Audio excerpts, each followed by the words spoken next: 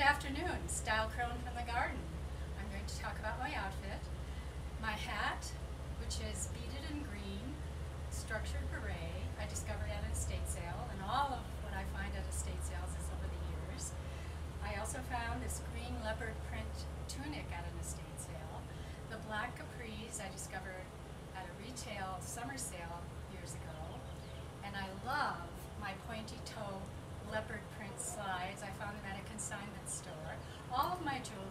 or gifted or found at an estate sale.